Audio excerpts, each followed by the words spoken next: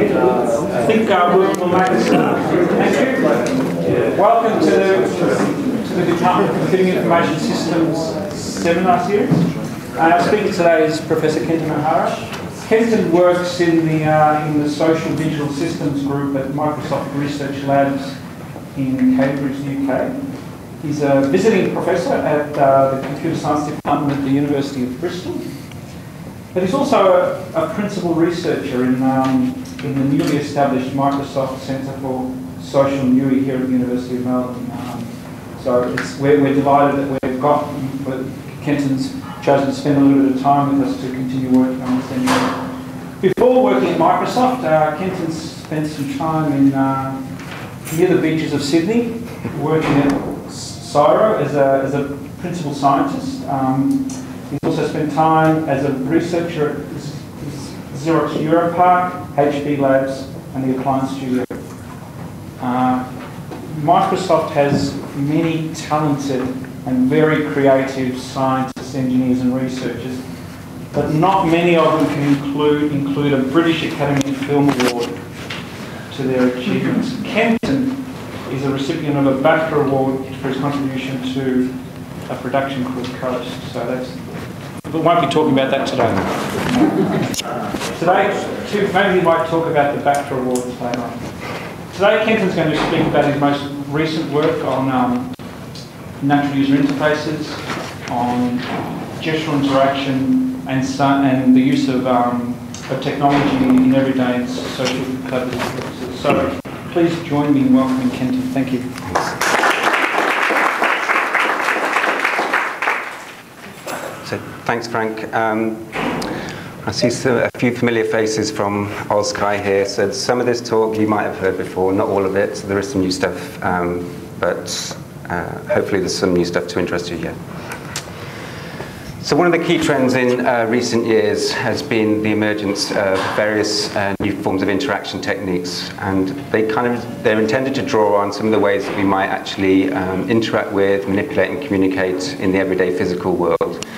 So such techniques um, have opened up uh, our interaction beyond the keyboard to include a rich repertoire of interaction modalities and include things like gesture, body-based interaction, um, natural language, tan tangible computing, pen-based pen computing, and, and, so on and so forth. And collectively, these have um, come to be referred to uh, as natural user interfaces. There's something implicit in the terminology here, um, in particular around the notion of natural, uh, and this has implications for the way that we frame our understanding um, and the design and evaluation of, of these technologies. And the essential arguments here are that by drawing on our everyday capabilities for understanding and interacting uh, with the world, we can make our interactions with technology uh, more natural and more intuitive. So the idea then is that these allow us to interact in the way that we're meant to interact and not have to adapt ourselves to the peculiarities and limitations of the technologies. So predominant um, in this new narrative is, is that it, it, tends to adopt a representational notion of what naturalness is. So naturalness is seen as something that's uh, existing, it's seen as something that can be is stable and something which is definable something which is bound up in the interaction mechanism itself or, or a particular set of gestures, um, for instance. So the argument here is that the better we're able to sense movement, the better we're able to sense um, voice uh, or, or, touch, uh, and our actions in the environment, the better we're able to represent uh, and model these features in the system. And these then uh, will allow us to communicate or manipulate uh, uh, the environment in much more natural ways. However, in, in adopting this uh, particular stance, so the analytical concerns sort of become focused inwards um, on the interface itself. And issues such as learnability, uh, ease of use, um, with which an individual control can control or learn a system become paramount in the narrative or the ways that we judge these things. So the systems then become judged according to how well they, they uh, achieve these uh, stable and definable notions of naturalness or how well they, they fall short of um, this hypothetical notion of naturalness.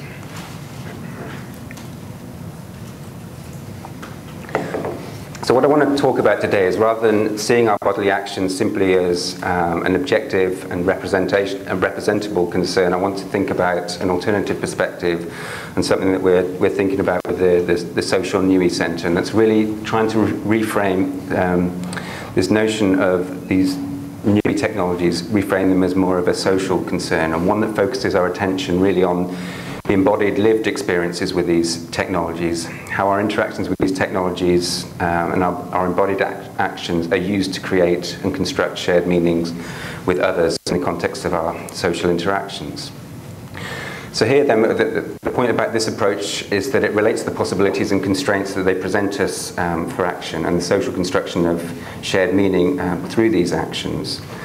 Issues such as how our actions are made visible, how they're made uh, accountable and understandable in the broader social context of socially organised um, practice.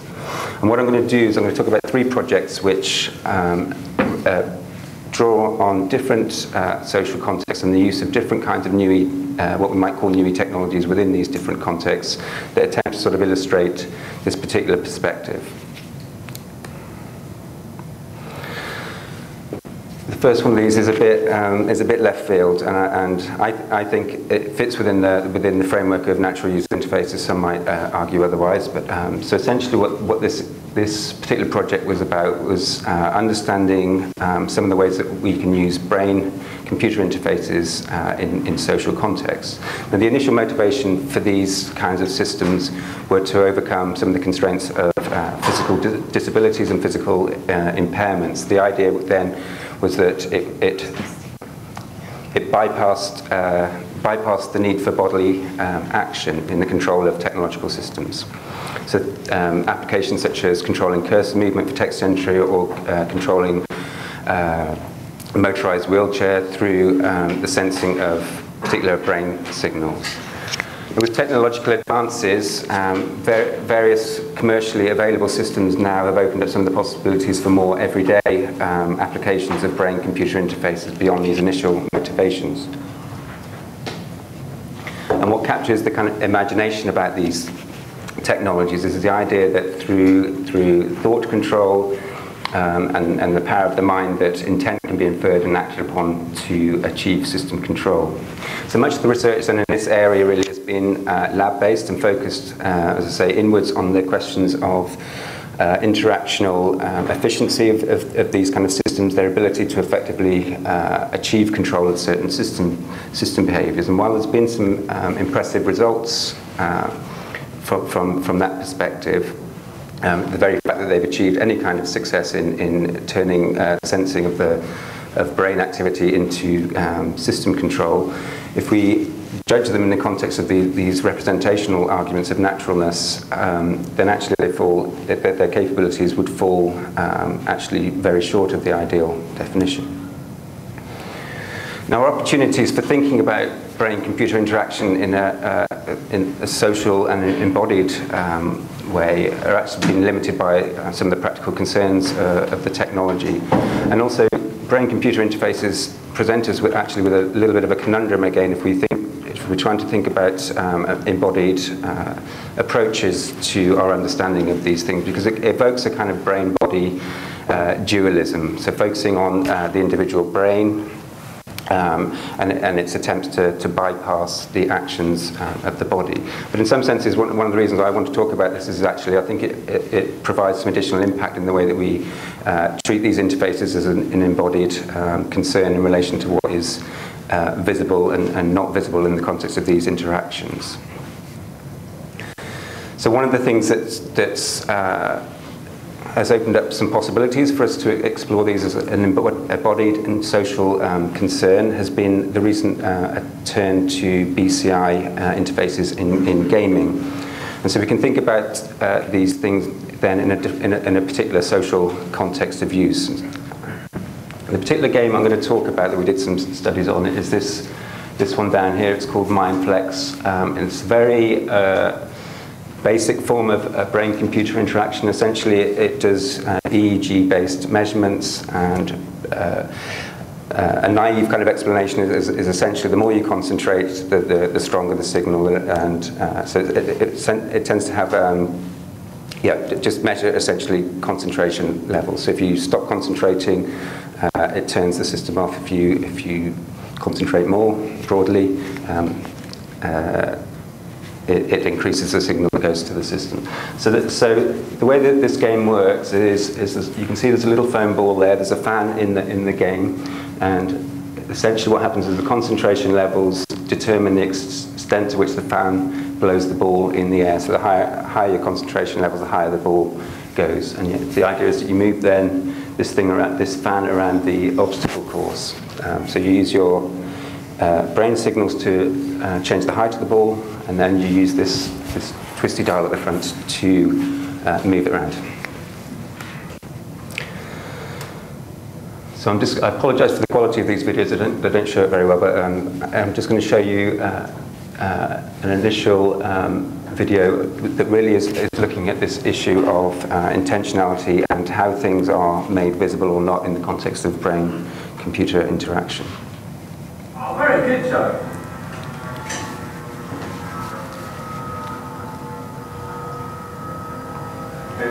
Top down.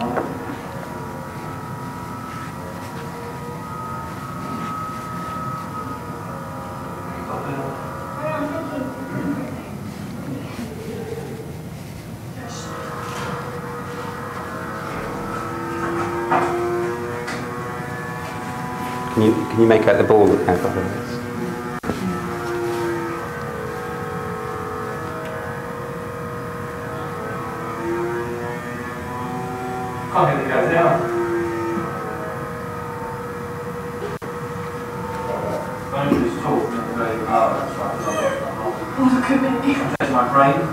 brain by, by talking. Think.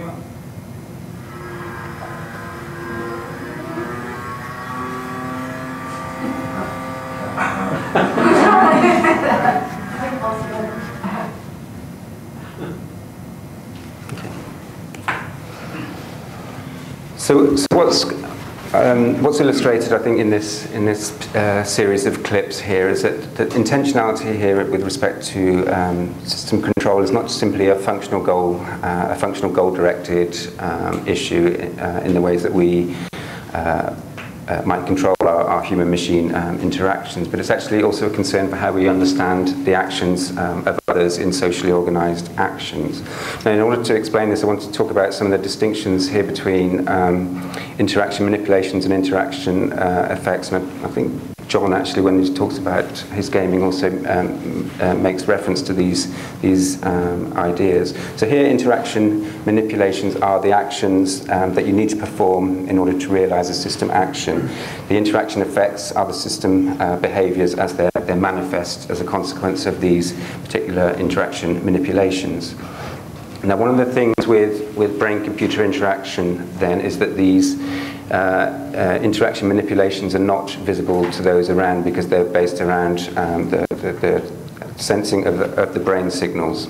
Okay, so, the, so in this sense, what you saw um, is difficulties in understanding the intentionalities of the, uh, the, the, players, so the people watching, um, trying to instruct uh, the players, for example, how, saying, you know, this one's up, this one's up. Um, no, uh, what's going on there is, is, is that actually they're, they're misinterpreting, misinterpreting some of the uh, intentionality on the part of the player. Now, one of the reasons why this happens is because Normally, I think in, in, in human-computer interaction, actually, you can compensate for lack of visibility of the interaction manipulations by, um, by a close association with the uh, interaction effects. Now, with uh, BCI and in this particular system, actually, there's a, there's a poor correspondence between between those. So there's a lack of control precision. So there's a poor mapping between what, what you uh, are trying to do through your brain signals and what the actual outcome is. And this then leads to the misinterpretation um, of actions and intentionality on the, um, the, the, the audience trying to interpret the behavior of the player that leads to these misinterpretations. What you also see here is, is that there's a social pressure then to, or um, to make your intentions and actions uh, visible. So uh, you saw um, that people are using gestures, bodily gestures. They don't need to do this from the point of uh, view of control, but in order to make their their actions uh, understandable to those around, that they, they, they, use gestures and they also use verbal explanations um, as a way of explaining what is, what is going on uh, in their head, what they're trying to do.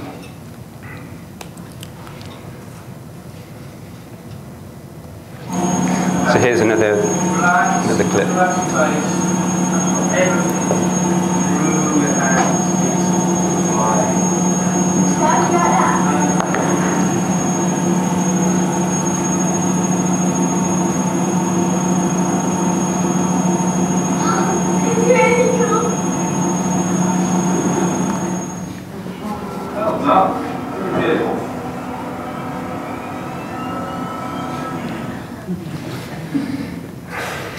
So I think uh, so here what, what, what's going on. Um, uh,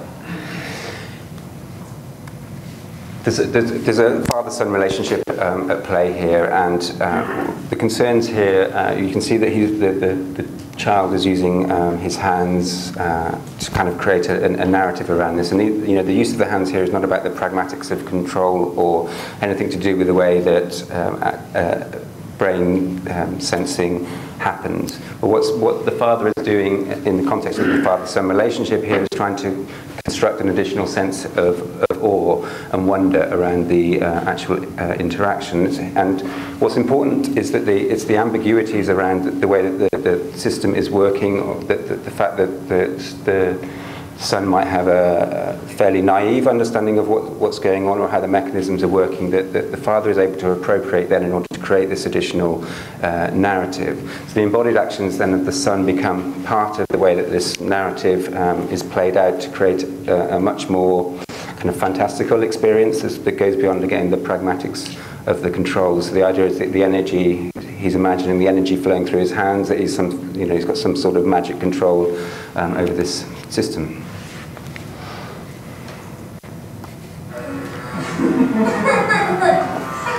trying to look at that, you just go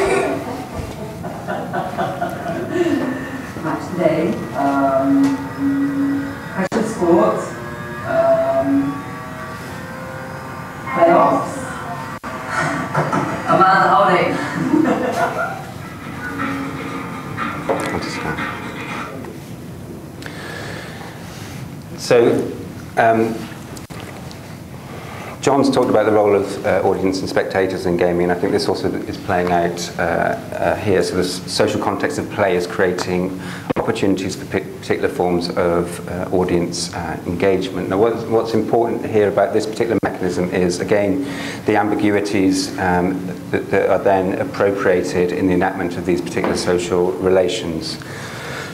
so what, what you saw from, from those uh, clips is how people are orienting to, the, to this kind of um, relationship between the brain activity and system behavior. The idea that the system um, response is somehow a, a reflection of the, the cognitive uh, state of the player's brain.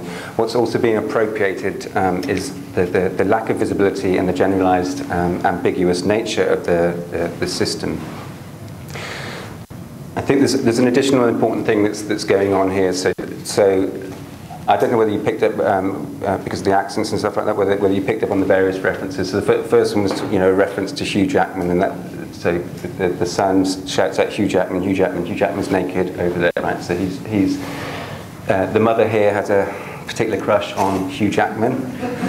Um, uh, and so, and so the, what's going on here is, and, and, then the father was also talking, they were also trying to do the, the whole match of the day thing, and the son was talking about uh, him giving up football and going using drugs and things like that. So trying to distract his father using those things. But I think what's interesting is really not just that, not just that they're trying to distract. Um, uh, or create humour. It's really how they're, they're bringing um, in their, their knowings of, of the, the, the, mother and the father or whatever, and, and, then they're using those knowings as a way of uh, playing them out. So they're, do, they're doing something additional here, which is um, there's, there's various kind of social acts in, in, in the fact that they choose those particular topics, for example, the timings of the way that they, they um, present those back. So it becomes a way of, these become a way of not just of creating humour, but they're acts of uh, what we might call social um, faithfulness, construct through the properties um, of this particular form of interaction. So I'm going to move on now um, to quite a different uh, uh, topic. OzCHI attendees, you can your email now, because um, you'll probably have heard this. So, anyway, this, this particular context is uh, really around uh, consideration of the use of gesture and voice in the context of surgery. So surgery nowadays is increasingly reliant on a range of uh, different medical imaging technologies, so things like CRT, MRI, X-ray, and they're used for various things in, in surgical context for, for, for, guidance, for reference, um, for diagnosis, and for, for documentation. So there's substantial interaction with uh, imaging uh, displays to capture, browse, and manipulate images during surgery. And what, what's distinctive about these, these settings uh, and unique about these settings relative to more everyday practices in which we might consider, consider gesture is um, the fact that they're operating in a sterile environment and, and that there's a need to manage the strict boundaries between sterile and non-sterile by avoiding the transfer of matter between one object uh, and another or between one person and another. Now, with traditional keyboards or mouse-based activities, obviously there's some contact involved in those particular interaction mechanisms. So the, so the work practices have to be organised uh, uh, in order to uh, av avoid uh, um, touch-based uh, interaction um, by the surgeon. So here the surgeons, when they want to uh, consult images during uh, surgical uh, procedures, is they have a number of uh, different choices. So they either go through a time-consuming process of taking their gloves off, uh, using, using the mouse or keyboard to interact with the images, and then um, re-scrub and, and, get a new set of, of gloves on. Um, or they, as we see here, is that, is that they can um, have a third party who, who can manipulate the, images on, on their instruction. So, so here the scrub nurse um, is controlling the mouse and uh, the uh, neurosurgeon here is pointing to where he wants her um, to point. Now while, while this kind of third party interaction is okay for, for basic image manipulation tasks or image selection tasks, uh, for more complex interpretive um, use of the images, um, actually the, the, the, cognitive work that gets done and social work that gets done through these images um, uh, is restricted because actually these, these interpretations are, are, are bound up with the dynamics of the manipulations that might be possible. There's some evidence uh, that, that, uh, that, they, that in order to get hands-on control, they uh, use particular workarounds. So here is a radiologist who um, lifts a scan up over his hands in order to be able to have that direct hands-on control and avoid um, the, the process of having to instruct a third party to manipulate the images. This gives him much more direct, dynamic control over, over these things.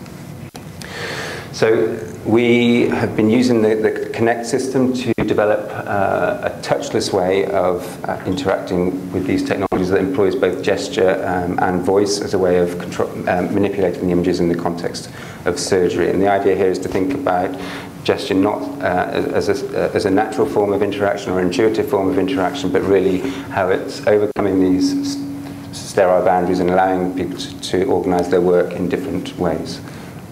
The Kinect for Windows technology presents some real opportunities to allow touchless interaction. Through close collaboration with vascular surgeons at Guy's and St. Thomas's hospitals, we have developed a system for manipulating 3D images. The system supports the surgeons to pan, zoom, rotate, lock, mark, and fade the 3D overlay to view the underlying 2D fluoroscopic image.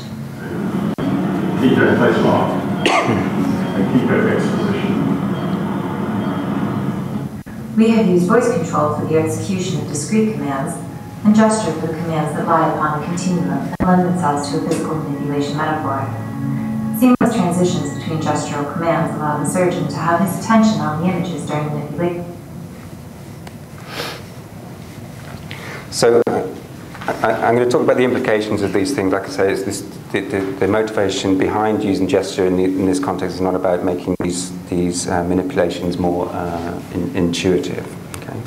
Now, one of the, one of the things, um, one of the challenges when they, are communicating to a third party is, that, is actually that, that those operations or those instructions uh, become kind of laborious and cognitively demanding. And the, the, the, instructions of the surgeons are normally designed um, in such a way as to to be expressible and understandable by that third party. And that, and, and that um, what that what that means is that, is that the, the, the control of images then becomes um, more about the projection of, of end states rather than about the dynamic uh, manipulation of these images. It's about achieving a particular end state, uh, you know, a particular level of uh, image transparency, a particular level of zoom, for example, rather than uh, um, the dynamic process of, of uh, manipulating from one level to another. So I'm just going to show uh, a video of it uh, in use and I'm going to talk about um, what, what we can see in the video.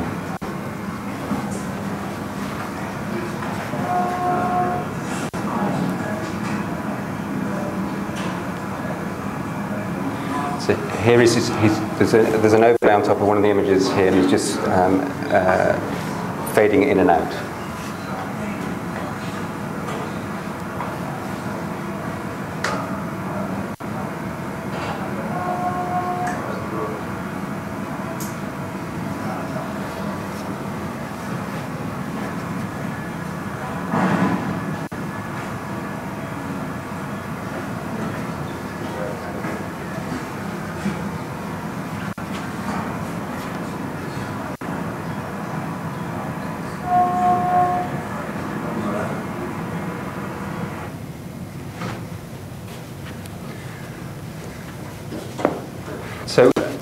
One, one of the things that this direct control is giving them then is, is really, um, so, so, I mentioned if, if they're doing this through a third party, the, the, that, that particular fade um, control would, would, would be, they'd say something like, can you, can you fade out? And, and the, the third party would just um, go straight to the, to the um, to, to make the overlay uh, disappear essentially, so they would reach that end state. But here what, what you saw was a much more fluid and repeated uh, back and forth uh, going on as the surgeon is inspecting it. So he's inspecting the images dynamically in the context of his uh, manipulation. So it's the ongoing animation of that overlay in relation to the, the underlying um, fluoroscopy image that's allowing him to kind of create that correspondence between those layers in a much richer way than, than uh, would have been possible without that dynamic uh, manipulation if he didn't have that hands-on con control.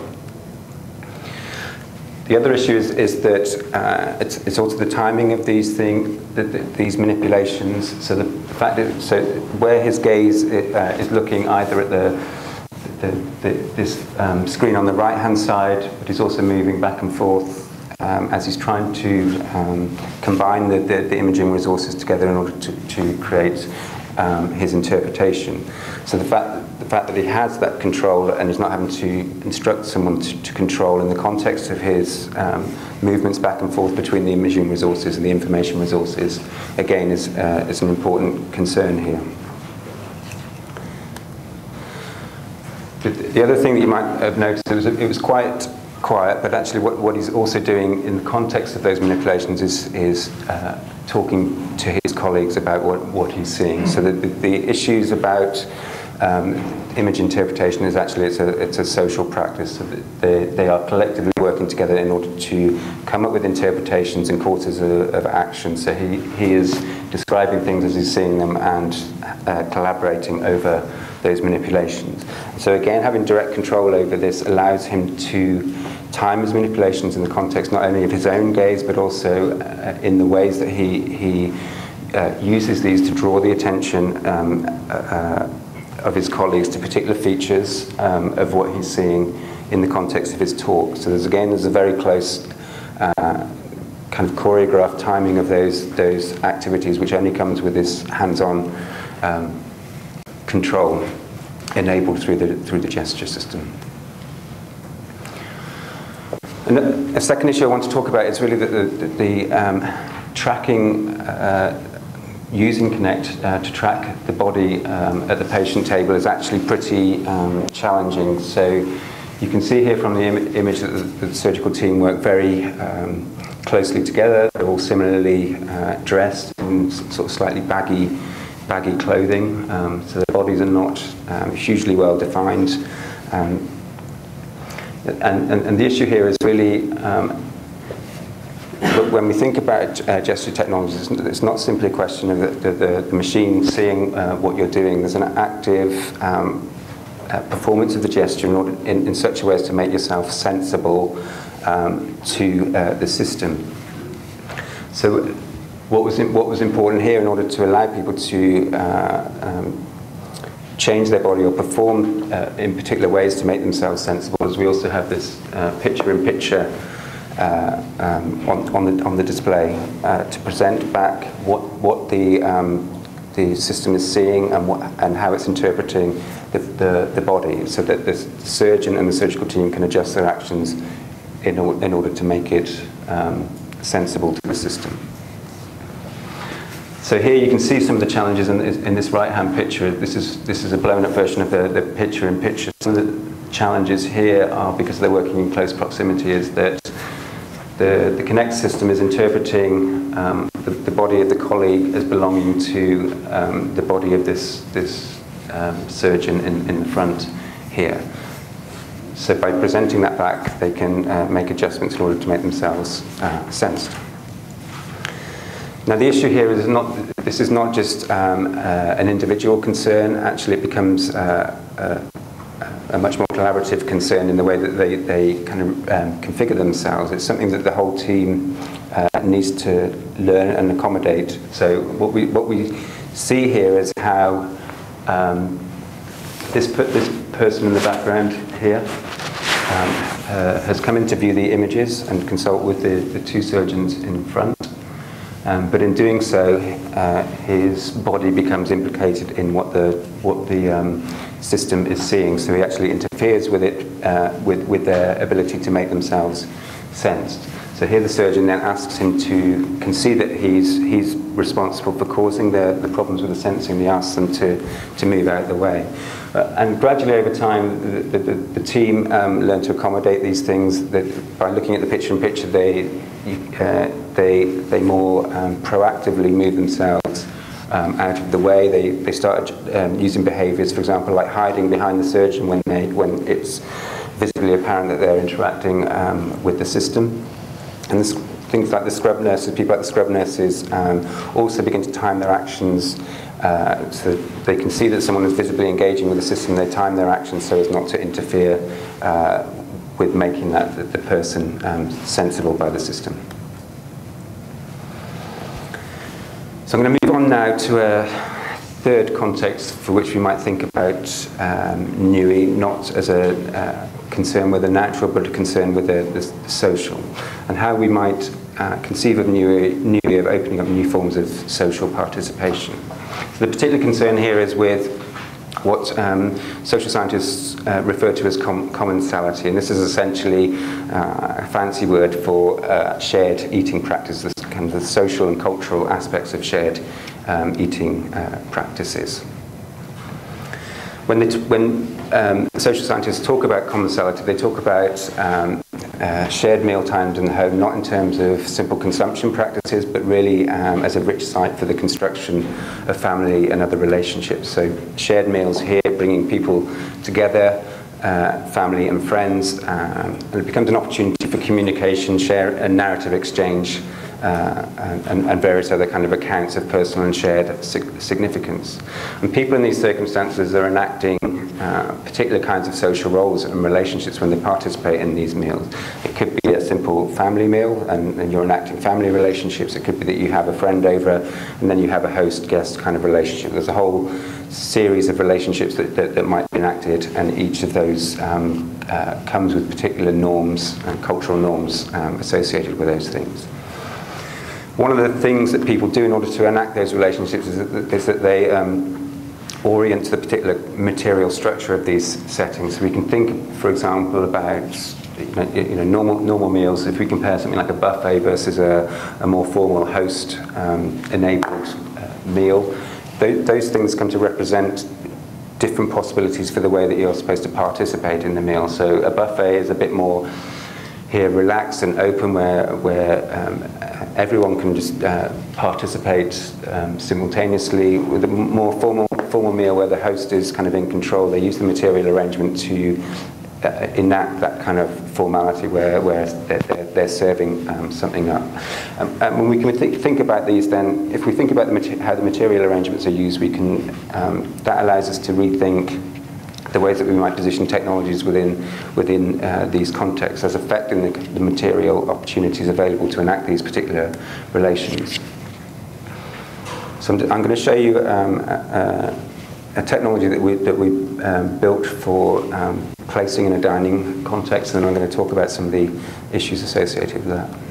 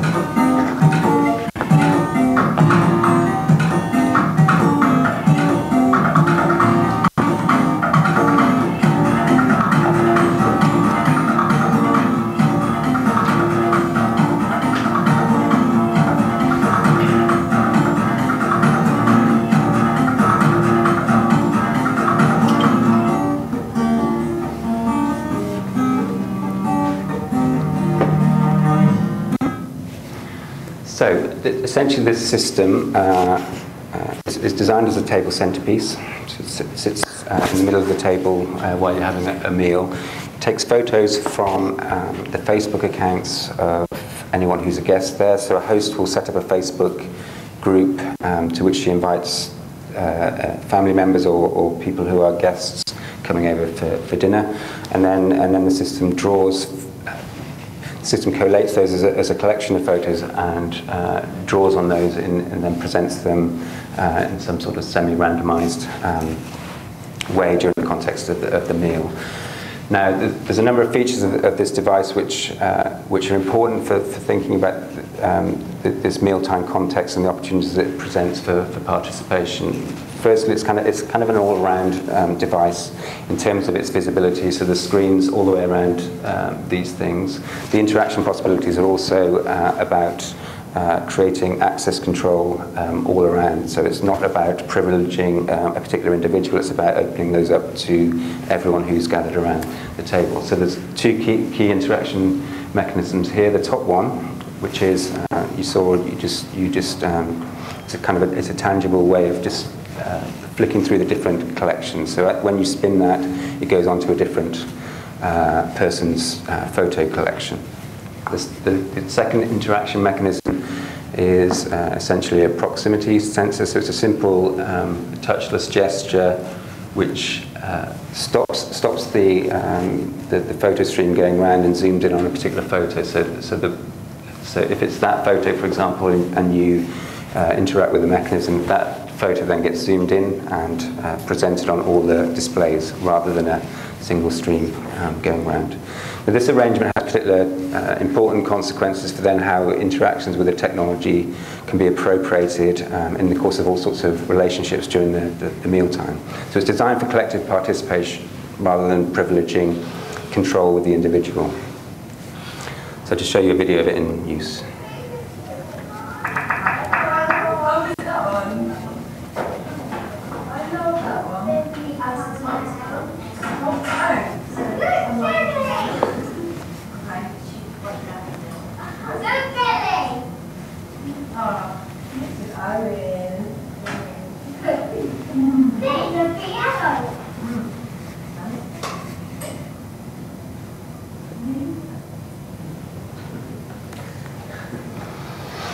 So, the, the, I mean, the important thing about this uh, system uh, and its content is not um, it's not designed to animate the social. So the photographs there are, are not uh, a way of making people talk about things uh, as though they wouldn't have anything else to, to, to talk about. So that's not the, that's not the point.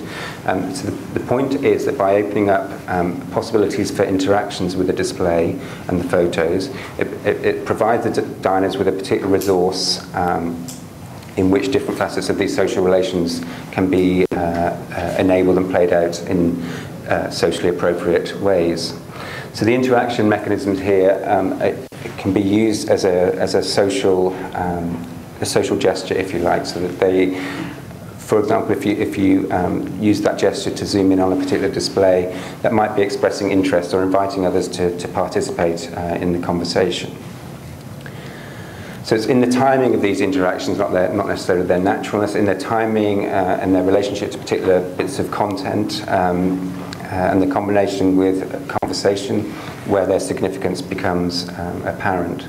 So what, what these kind of interactions en enable is they allow you to, for example, um, uh, control your, your uh, turn taking within, within a conversation. They also provide um, safe ways of introducing topics, safe ways of uh, complimenting or asking questions about the, the, the content or raise, raising the profile of a particular photo as a, as a topic um, of, of interest.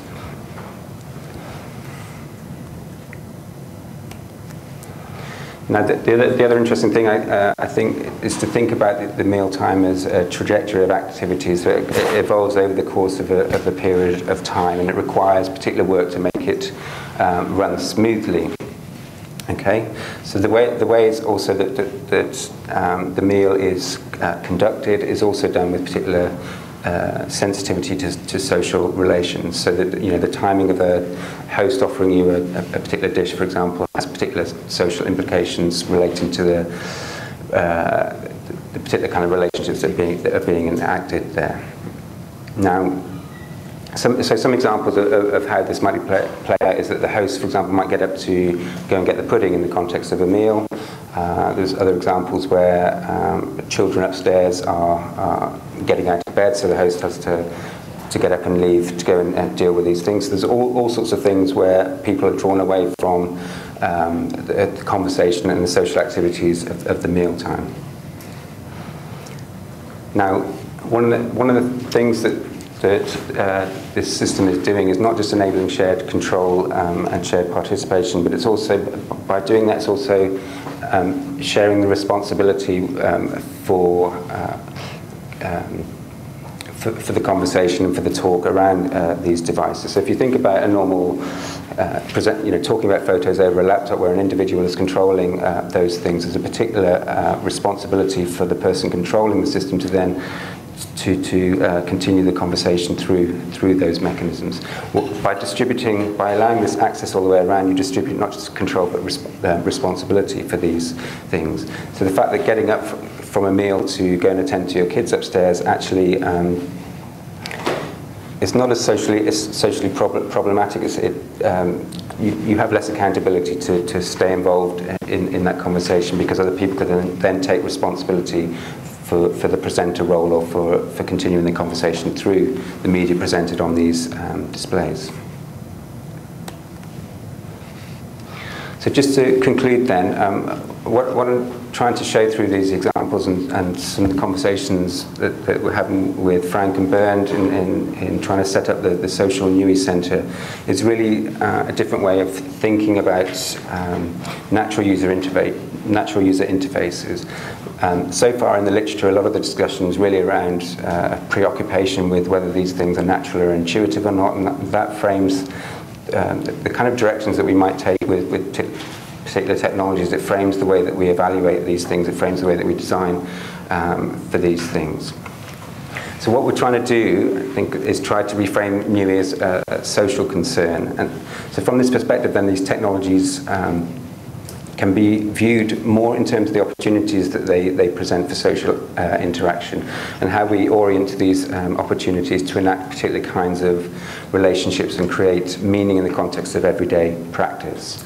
So social NUI here is not simply a question of multi-person uh, NUI, although we can, uh, that would also uh, fit in, but it's more about uh, an analytic orientation that takes into account um, the social significance of these interactive properties, in particular context of practice. The issue here is not simply uh, as a means to enhance our understanding, but actually, I think by, by taking this perspective, I think it reorients the way that we approach the design um, of these technologies. It offers us the possibility to re- reimagine um, our social practices through, through um, the opportunities of these technologies and uh, to reimagine the ways that we might enact social um, uh, relations uh, in interesting new ways. I'm going to wrap up there. God, let's bang on time. Good.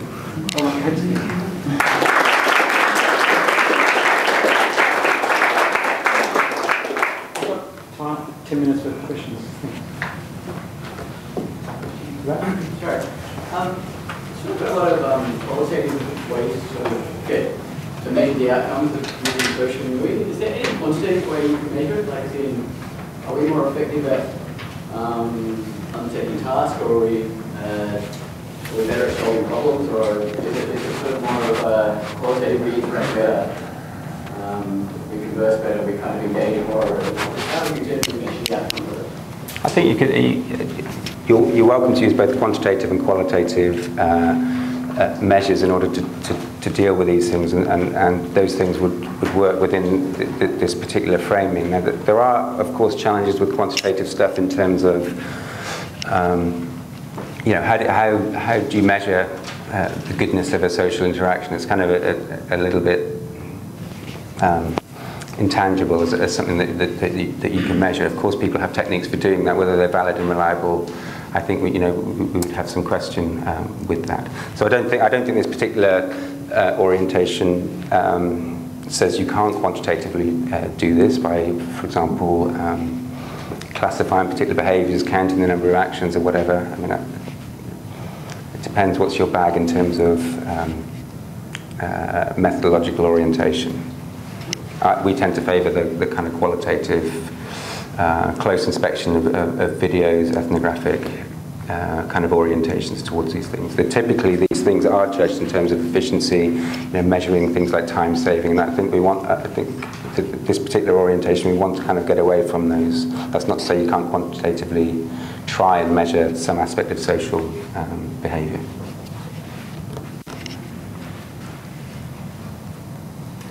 I was interested in your view of social semiotics and then multimodal analysis. Have you explored that angle much? Social semiotics, this type of thing. Explain. Uh, what I'm doing right now is a socially, it's socially embodied and it's a social semiotic. It means something to the people in this room.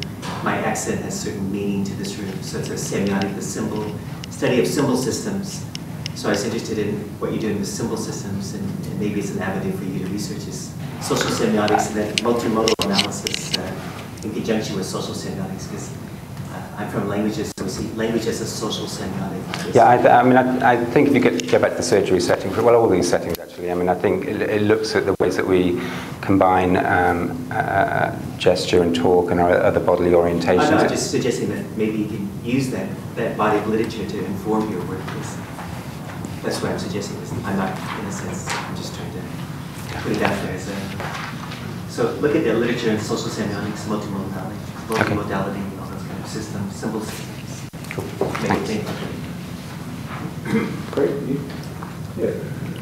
Thanks, Ken. That that was very interesting. And I'm just thinking about these examples here. These are people who, who know each other well, family groups and close colleagues and so on. And I'm wondering what happens when the, the social, when the NUI becomes used among strangers. So voice and sound, for example, is kind of inherently public. And so when you're on a bus, you can hear people's intimate conversations through mobile phones and so on. Mm-hmm. Does the gesture and the other natural user interface do interesting things when people are using these in public?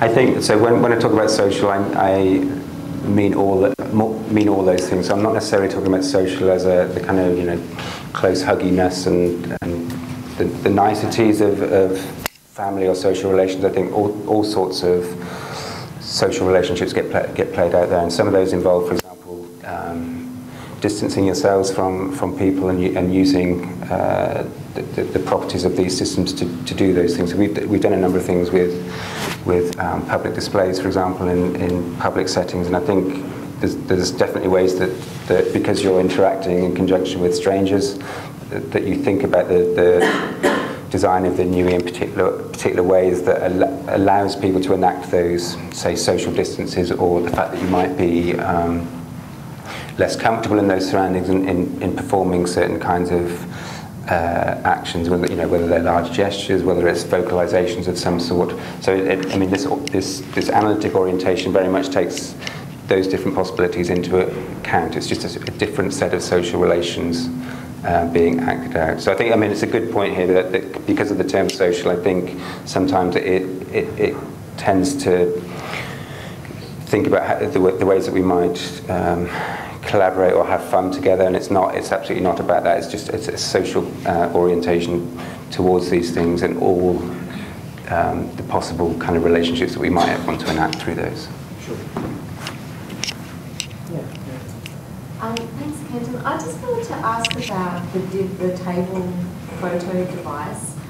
I'm still trying to understand how it's not about just giving people something to talk about. And I'm, I'm a bit intrigued about why it's descri- described as a safe platform, because to me it actually has quite a few potential risks. It, it, it does have risks. I don't. know. So when I say it's a safe way of, of introducing topics, it's a so that refers back to Harvey Sacks' work, which which talks about the way that we appropriate various things in our environment in order to um, raise certain raise certain topics of conversation. So if I, if I just ask out of the blue something about something about uh, your family. Um, I'm not really I'm not really making myself accountable. I'm not really um, giving myself or giving you a reason for why I might uh, ask those things.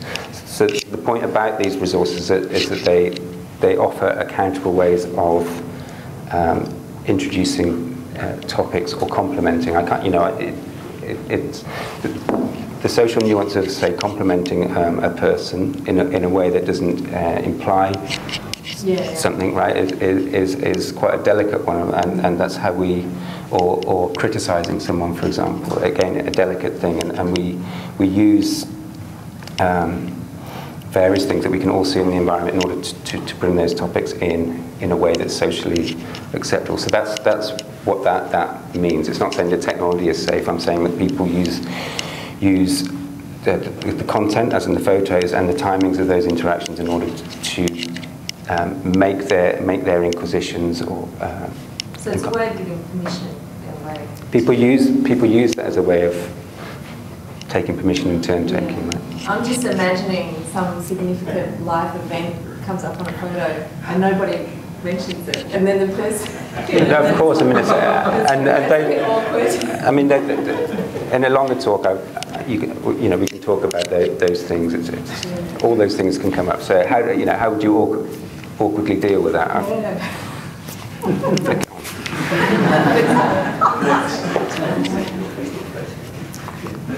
One more question, last question, thank you. It's more of a comment. I, I, really enjoyed the talk also because it, it highlights that the social NUI is that the social in the NUI is not that is social is not necessarily within UE. So the food for talk system is a very social system, but what the brain computing is a very intimate technology as well as the interaction with the display in a certain operating theory. It's a, uh, an individual technology, but the way you frame it makes it social, and I think that's what the center is interested in. So, thank you so much. Isn't that a lovely way to meet?